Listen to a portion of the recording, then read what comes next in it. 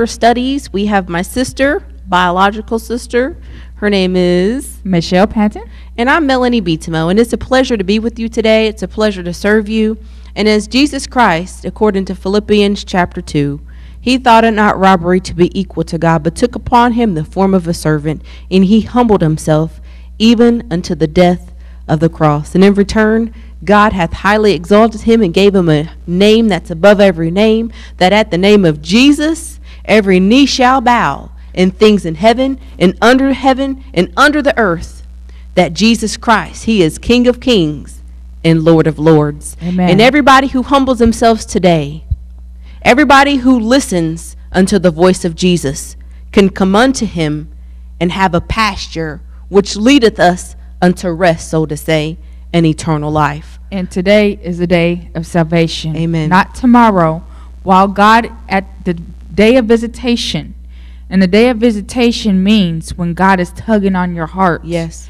At that time, when God is tugging on your heart, you better take heed to it because He might not tug it on it again. Mm-hmm. Because after you rejected it, He'll like, okay, He'll give just give you what you want. Amen. God is not going to force anybody to serve him.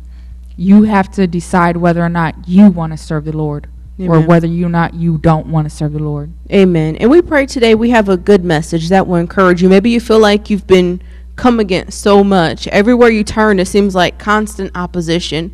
And you say, Lord, what am I doing wrong? Lord, what's going on in my life? But maybe you're you're suffering for righteousness' sake. We want to encourage you and say, Happy are ye. Rejoice when men revile you for the name of Jesus Christ. Re- rejoice when men persecute you because you're preaching God's word. Rejoice when when men speak well of not when men speak well of you, but when men speak evil of you. Yes. Mhm. But yet you're in the word of God. Amen. And it seems like nobody wants to hear what you have to say. Mhm. Well, guess what? That lets us know that we are doing something right. Amen. And I just want to say one thing. People think that just because you say you're a Christian, oh, I'm a Christian, and like, oh, they're going to persecute me because I say I'm a Christian. No, that's not why you're getting persecuted. Just Mhm. because you say you're a Christian, anybody can say that they're a Christian. Right? But it's what you believe, Amen. what you teach, the Word of God. What does the Word of God say? It's because of the Word Amen. is why people are being persecuted. Amen. Because they're preaching the true gospel of Jesus Christ. Amen. Not just because they say I'm oh I'm a Christian. No, because they're preaching the word of God. Amen. Let's give them an example of how Jesus was persecuted just by preaching the word. Yes. How people was so moved with envy and anger and hatred just because of what Jesus taught. How was that possible? Jesus was here, it says, to, to help the people. Mhm. Those that are blind, those that are sick, those that are, are deaf. Jesus was sent to help them people, the poor people, the blind people, the lame, the maimed, all the little people. Jesus came to help them. He says that he's the Prince of Peace. Amen. So why did people hate him so much when Jesus had he brought all these good tidings? He let them know that hell is real and you can have salvation and deliverance. All you had to do is repent and get in covenant. Amen. Tell them why they was well. Jesus had said talked about um, in Luke chapter 16. I'm going to start with verse 9. And he says, And I say unto you, make yourselves friends of mammon and of righteousness, that when ye fail, they may receive you into everlasting habitations. He said, This is a faithful saying, he that is the he that is faithful in which is least is the faithful also in much. He that is unjust and that is least, he is unjust also in much. He says, If therefore ye have not been faithful in unrighteous mammon, who will commit to your trust the true riches? And if ye have not been faithful in what which is ano- that which is another man's, who shall give you that which is your own? Ye no servant can serve two masters, for either he will hate the one and love the other, or else he will hold on to one and despise the other. Ye cannot serve God and mammon. And it says in verse 14, and the Pharisees also, who were covetous, heard all these things, and they derided him. If you look up that word derided in the Strong's Concordance, it's 1592. It says to snare outright at and deride. Hmm. So they deride, they were covetous and they sneered at him and they derided him and they mocked him because they, he said that you cannot serve God and mammon hmm because that, that was their God. Mammon was their God. Okay, now let's tell the people what mammon is.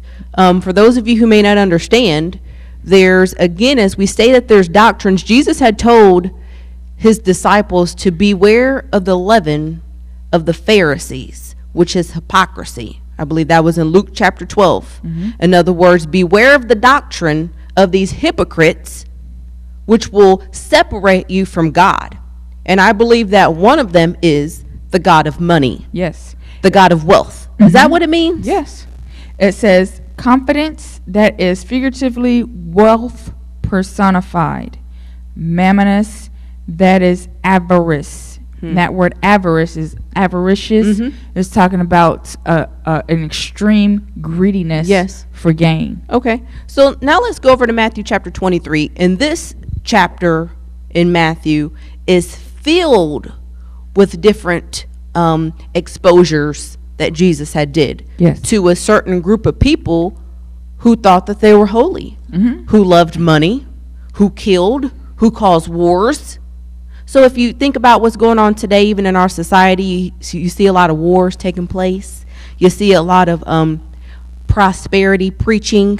You see a lot of um, what else do you see that's going on across the land? That would be a type of exposure, even how Jesus exposed them. What what's a big thing? I say war right now because they're starting a lot of war. Oh yes, trying to say, oh well, this country is one to bomb us. We need to bomb them, and all that is just war propaganda to Mm-hmm. Um, what caused the people to go along with their wars, Mhm. which there is no good reason for war. I mean, they're the ones that promote it. They start it. They're the ones that's um, causing it, Mhm. basically. And what they do is they use all this stuff. They commit. They make all this chaos. Yes. They make all these wars. They fund both sides of the wars. They don't care who wins. They well, they make sure the person that they want to win wins. Mhm. And so they fund both sides to cause all these wars to happen, and then they want to bring in, oh, we have a solution to end all wars. That's part of their propaganda. Yes. everything that they do to create a mindset in people to deceive them. It's done intentionally, it's created intentionally to program people's minds to go along with what they say, whether by TV, whether by books, magazines, billboards, um, papers, everywhere is filled with propaganda to, again, create a mindset in people, their beliefs, even in their behavior. You know that through propaganda can cause one country to hate another country? Do you know that through pop propaganda can cause one one big change to take place for an, for example, maybe their fashion. They oh, this is the new style with so and so. Next thing you know, the whole world is dressing like it or the whole world is acting like it. I'm just saying that they use propaganda to create a mindset into people to go along with their beliefs. Mm-hmm. When I say their beliefs, it's the person that's creating this propaganda. Now let's go over to Matthew chapter 23. Jesus had spoke about them. He called them hypocrites. He called them, you want to be lifted up and sit in the chiefest seats. You even go and sit in Moses' seats, ye hypocrites. They want to be seen by men to appear holy and righteous. But to talk about their money, as we mentioned over in Luke chapter 16, Jesus also mentioned their money over here in Matthew chapter 23, how they worship money. And I believe that he's speaking to the unrepented Israel who serve, at the end of the day, Satan. They're actually Satan worshipers. And you can follow them all the way to John chapter 8, how they withstood Jesus, they withstood Moses, they withstood the prophets.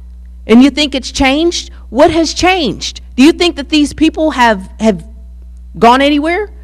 No. It says in the last days evil men and seducers shall wax worse and worse, deceiving and being deceived. So where'd they go? They're still here today. Mm-hmm. And guess what? The power that works with these people When I say the power that works with these people, like we said, that they actually serve the devil, Satan himself, I believe, is giving these people power to perform even, maybe even miracles to deceive people. But now let's go over to Matthew chapter 23. What's the verse we was wanting to share on stating how they actually worship the money? Yes, in verse 16, it tells you, well, verse 14 tells you how they obtained the money and how they were getting money through um, devouring widows' houses. And um, it talks about in verse 16, he says, Woe unto you, blind guides, which say, Whosoever shall swear by the temple, it is nothing. But whosoever shall swear by the gold of the temple, he is a debtor. Jesus says, Ye fools and blind, for whether is greater, the gold or the temple that sanctifieth the gold? And this is how what they were worshiping. They thought this gold was so great that they, you better not swear by the gold because that's the God. That's Mhm. our God Mhm. because that's so great. Jesus says, You fool and you blind people. Mm-hmm. He says, The temple is greater than the gold Yeah. because you worship God in the temple. There's even another story that kind of goes along with it is Mark chapter 7. Um, and it's speaking unto these appearing to be righteous people also that even Isaiah had prophesied about. And it's mentioned over here in Mark chapter 7, even verse 6. It says, Well hath Isaiah prophesied of you hypocrites. This people honors me with their lips, but their heart is far from me. It says, Howbeit in vain do they worship me, teaching for doctrines the commandments of men. So they don't even have the commandments of God, but they, if you follow them over in Matthew chapter 23, they appeared to have the Moses laws. But you know what they didn't? They had their own laws themselves. They made their own teachings, they made their own books, and then wanted to claim, oh, we're of Moses, we sit in Moses' seat. But they didn't. They created their own things. They're behind the scenes. Mm-hmm. They don't come out and tell you the truth because if they did, they'll be kicked out. People Yes. would not receive them. So they have to work in the behind the scenes, covertly, inconspicuous, privily, privately, deceitful, stealthy way. So nobody notices them. Mm-hmm. And it tells you again in Mark chapter 7, this tells you another thing how they use the temple of God in deceived people. Let me tell you what it says. And this is still in Mark chapter 7, but let's go over to verse 9. Full well you reject the commandment of God that ye may keep your own tradition. This is their own teachings, their own laws, their own, I don't even want to say laws, their own beliefs maybe. It says in verse 10 For Moses said, Honor thy father and thy mother, and whoso curseth father or mother, let him die the death.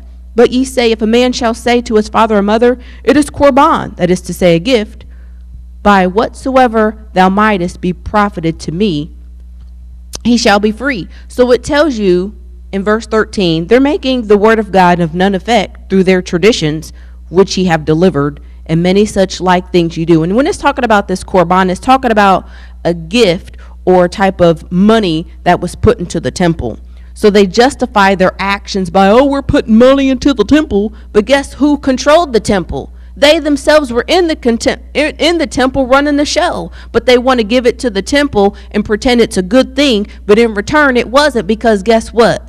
The money was coming back to themselves. Instead of the money going to their mother, to their father, to the poor, to the needy, which is what's supposed to been done. Mm-hmm. That's what the proceeds for the building of the church, I don't want to say the building of the church, but the money that was given to the church was supposed to be basically for the ministering of the gospel. Amen. It was supposed to be for the furthering of the gospel. It's supposed to help the poor, help the needy, those that come to church to hear the word of God, not to get to the temple to accumulate upon the lust for those who control the temple.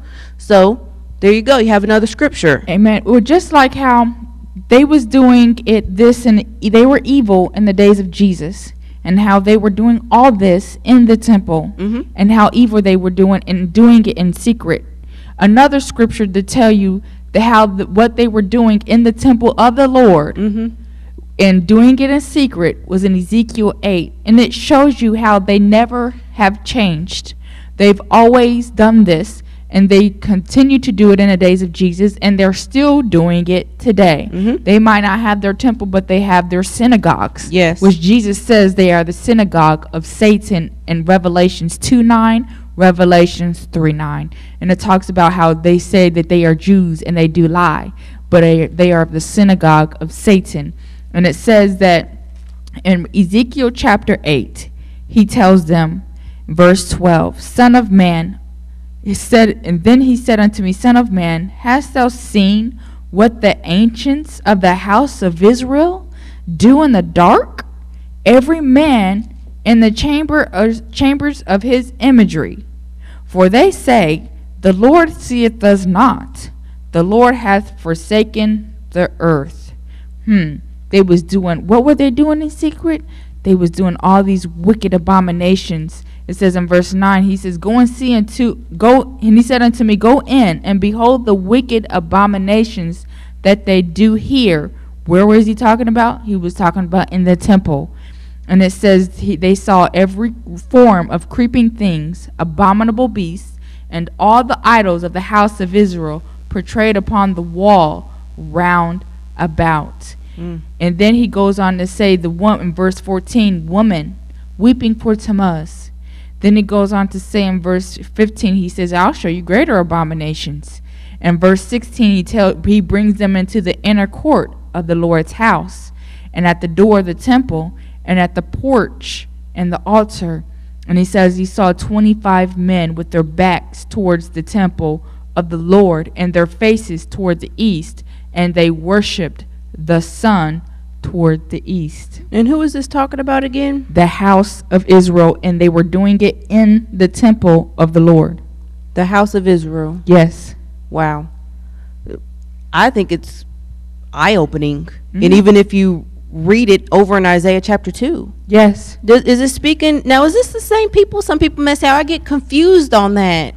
Oh, It's that's talking to different people. That's you know a figure of speech. Yeah, that was back then. That wasn't back in those days in the Old Testament. Well, let's tell them. According to Isaiah chapter 2, now mind you, Jesus spoke of the prophets over in Matthew, wasn't it? Didn't we speak? Yes. Even Mark 7, Mhm. how Jesus used the prophet Isaiah. Mhm. Um, you can find it in numerous of scriptures, even Luke chapter 4, how Jesus spoke out of Isaiah the prophet. And also in 2 Peter chapter 1, it tells you about how we do well if we take heed unto the prophets. Yes. Because I believe that the prophets exposed a lot that's going to be happening even in the last days. How do we prove it? Let's go there. Isaiah chapter 2, Mhm. verse 2. Mhm. This is the prophet Isaiah speaking of the things that shall come to pass. It says, in the last days. In verse 1, he's speaking about Judah and Jerusalem. You can follow it down to verse 5, and it speaks about the house of Jacob. If you follow the house of Jacob, the name Jacob itself means supplanter. It tells you about the house of Israel, how they took something that did not belong to them, and it tells you about their characteristics of the type of people they are. In verse 6, oh my goodness, let's see, it talks about them even being soothsayers, how they are replenished from the east. It talks about even how they please themselves with the children of strangers. Michele, tell them about their land. Remember, we talked about the worshiping of gold? Yes. It says their land is full of silver and gold. Neither is there any end of their treasures. Notice today in Israel, they are the richest country. They are. But yet they don't want you to know that because they want to keep collecting money. Oh Mhm. yes, we need to give more money to Israel so they can build their temple. Mhm. They have all the wars, um, all the bombs that they're making now. They have all these all these weapons that they have. Oh, we need to defend ourselves. We have a right to defend ourselves. Look, no one wants to bomb them. No one wants to come against them. Is they love the opposition. They make this opposition themselves to bring this like so-called pity. Oh, Mhm. we need people to pity us. We need your money. Come give us your money. That's all it's all about because Yeah. that's what they worship. And it says their land is full of silver and gold. Neither is any end of their treasures. It says their land is full of horses. Neither is there any end of their chariots. And this is talking about for war. Mhm. It's talking about what do they use horses and chariots for? War. war. This is what they have all these weapons in Israel for war. This is all their war propaganda because they want everybody to believe everybody's against them to cause war. It's all a propaganda to make you believe, hey, they hate us. No, we don't hate Israel. We don't hate the Jews. We don't hate nobody. The Bible says the love. God is love. Mhm. We love everybody. But yet we're not going to believe their lies. Yes. But just because we love them, that don't mean we have to believe their lies. And one thing, as we mentioned over in this Isaiah chapter 2, how it mentions this word soothsayers, to understand when we told you how they're behind the scenes, even in Ezekiel chapter 8, you know what the soothsayers mean? It means covertly, like behind the scenes. You can't see it. And also, it talks about magic. These people are not a joke. When we say that they're not a joke, they release a curse with the words that they speak if you believe and if you listen to what they say.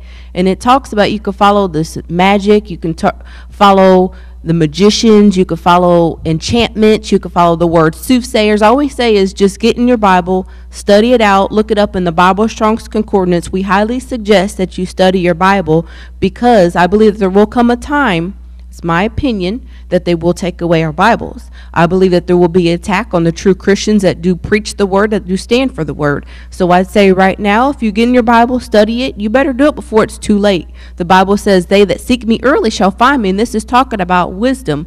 How do we attain wisdom? I believe it's through studying God's word because God's word is wisdom. So again, that soothsayers, the number four according to the Bible Strong's Concordance is 6049, and it talks about an enchanter, a sorcerer, covertly, covertly, to act covertly, to cover. In other words, again, they're behind the scenes. And it talks about to practice magic.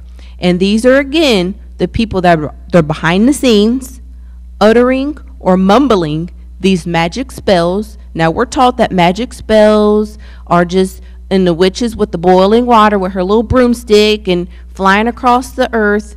No, these are the people that we're exposing today who are behind the scenes. They look nice, I'm sure they talk nice, but if you go along with their teachings and the words they're speaking, they release, so to say, a hex or a curse or an enchantment upon the listener.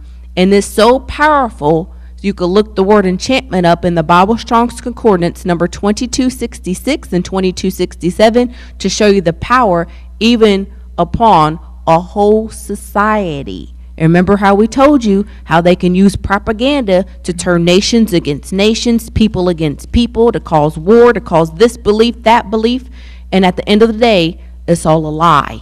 Amen. And even Jesus, the whole our whole purpose is to say, look, they persecuted Jesus because they expo- Jesus exposed them Mhm. for who they really were. Jesus told them that they appeared outwardly to be righteous righteous men. They appeared that way, but within they were full of hypocrisies and, iniq- and iniquities. Mhm. And they were appearing to be righteous, but they are full of hypocrisy and iniquity. Amen. And then he goes on to say, Look, you have killed. They were witnesses against themselves that they their fathers had killed the prophets. They said, "Oh, if our fathers if we were in the days of our fathers, we would not have killed the prophets." Jesus says, "You're a witness against yourself that you be the sons of your fathers that killed the prophets." He says, "Fulfill ye up your measure." Meaning, guess what? You're going to do the same thing. Mm-hmm. And it says, because, look, he says, in ver- verse 34, I send unto you prophets, wise men, scribes, and some of them ye shall kill and crucify, and some of them shall ye scourge in your synagogues, and persecute from city to city. And what did they do to Paul? They persecuted him from city to city, to and they stirred up the devout or devout people. Mhm. They always stirred up the Gentiles, and it made them their minds evil affected against the Christians. Mhm. And then, if you go on today, they're just still doing the same thing. They're Mhm. going to persecute the people of God because guess what? God has made us ministers at Flaming Fire to Mhm. expose darkness. And the reason why they hated him because Jesus exposed their sins and exposed their lies. Mhm. And they hate the truth. Amen. People that don't love the truth, they're going to be turned over according to Second Thessalonians chapter 2. They're going to be turned over to damnable heresies and strong delusion that they should believe believe a lie and be damned. Uh-huh. And you know what? It's important that we listen to the Bible because again, if you follow the scriptures, you could read Isaiah chapter 47, verses 8 and 10, I believe, how these same people, the house of Israel, so to say, were claiming to be God, how they said that I am and there's none beside me. You know what? Even Isaiah 65, 5, what did they say there?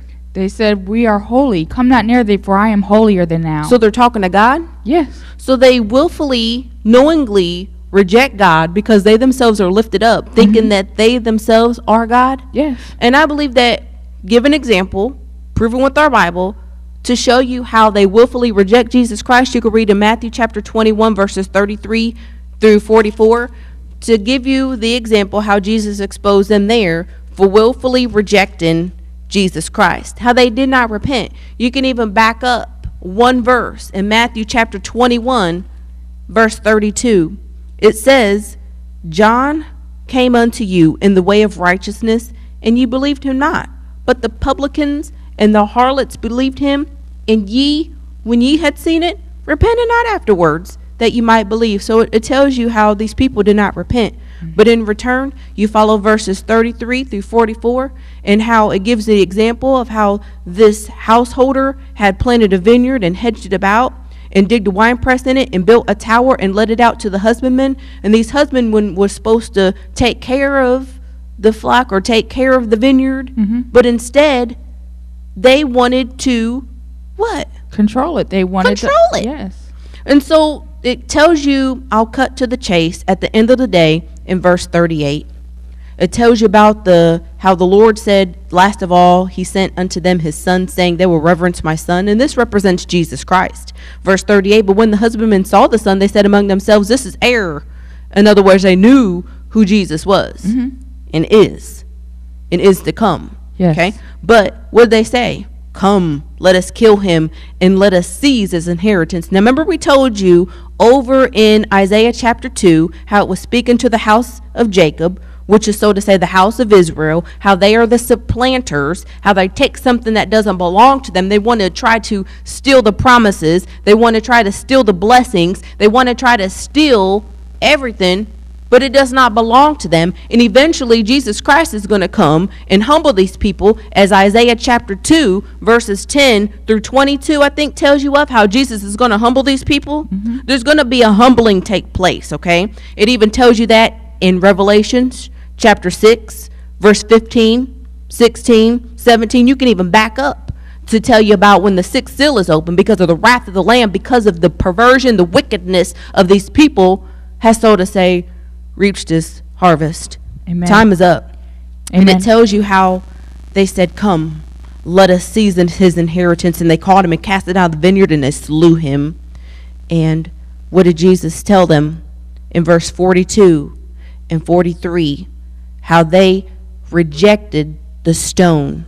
How Jesus Christ is the stone that the builders rejected. Therefore I say unto you, verse 43, Therefore I say unto you, the kingdom of God shall be taken from you and given to a nation, bringeth forth the fruits thereof. And this is where it's no longer about a land anymore. It's no longer about a group of people. Because by their rebellion, the house of Israel provoked God to jealousy and says he's basically going into a Gentile nation. And those of you who accept Jesus Christ, salvation is to all. It's not about a special group, but it's according to your faith, according to repentance. And we pray that you got something out of our program. If you want more information, we will be more than glad to share it. You can email us at Pastor Inman, I-N-M-A-N at att.net or 518 Pleasant Valley, Dayton, Ohio, 45404. I hope you got something out of the message and may God go with you.